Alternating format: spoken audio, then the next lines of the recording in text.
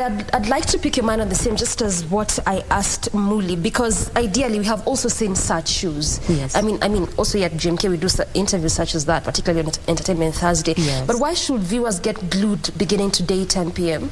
on pop culture? What makes well, it it?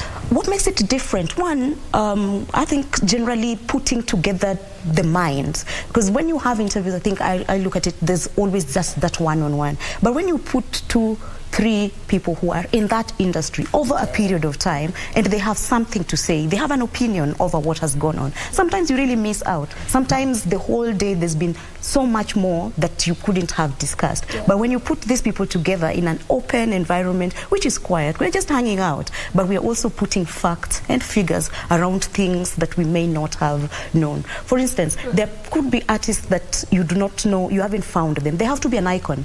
In order for me to have a chat with you, you must have been in the industry for over 15 years. I've been in the industry for over 15 years. I began here, actually.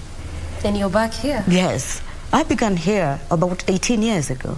Oh, Wow. So really, that it's, it's, it's a journey that has been there. And then there's been those people who've worked with us in putting together things that light up the industry. It's not just about hype, really. It is about how better are we making an industry that we're a part of. Mm. So we want to discuss that when we're in pop culture nicely. We're not saying it's such a serious convo that you want to, you know, you're just thinking, okay, so what are they saying? You want to sit into it and sip into it. Mm -hmm. That will happen in pop culture, I can assure you. Mm -hmm. yeah. Well said. I mean, yeah.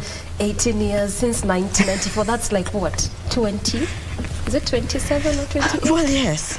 Wealth of experience around